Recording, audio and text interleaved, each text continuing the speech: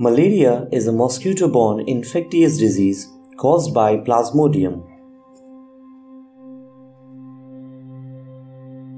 Every year, malaria affects more than 500 million people and kills more than 1 million people. In India, about 1.5 to 2 million cases of malaria reported each year.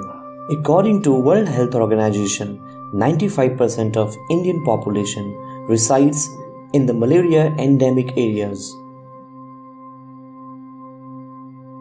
Plasmodium, an intracellular parasite, is the cause of malaria. This parasite has several species like Vivax, Falciparum, Ovale, and Malariae. Malaria is transmitted by a female Anopheles mosquito. A French army doctor, Laveran, first discovered the causative agent of malaria in 1880 and in 1898 Sir Ronald Ross proved that this parasite is transmitted by mosquito. Plasmodium completes its life cycle in two different hosts. Female Anopheles mosquito is the primary and human is the secondary host. The symptoms of malaria includes febrile paroxysm, which take place at regular interval. The symptoms are chills, last for 15 minutes to 1 hour, high fever, approx 106 degree Fahrenheit, which lasts for 2 to 4 hours. The patient suffers from headache, vomiting, and diarrhea.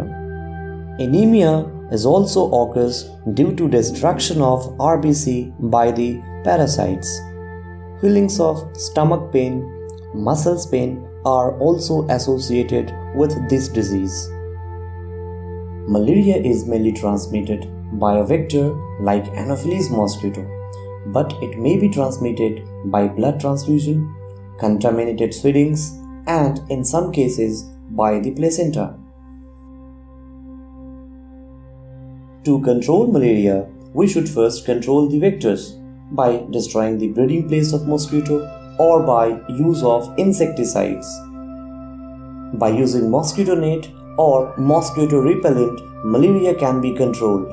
And the most important that the infected person should be treated by anti-malaria drugs.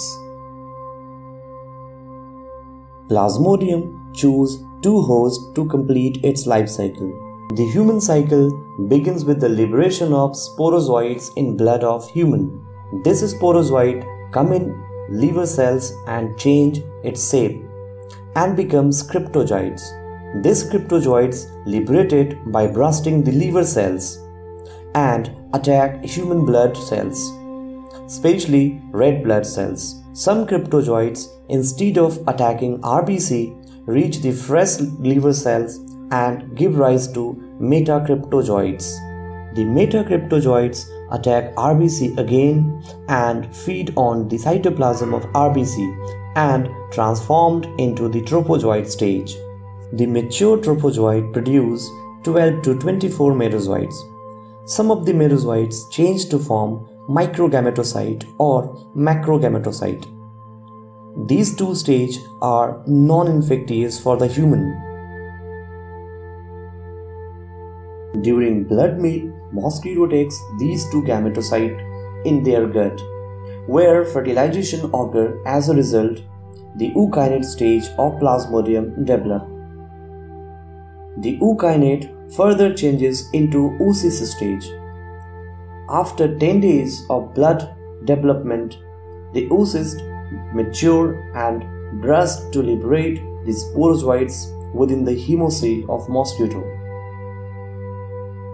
Thus, sporozoites comes in the salivary gland of the mosquito, from where it is ready to transmit to the next human.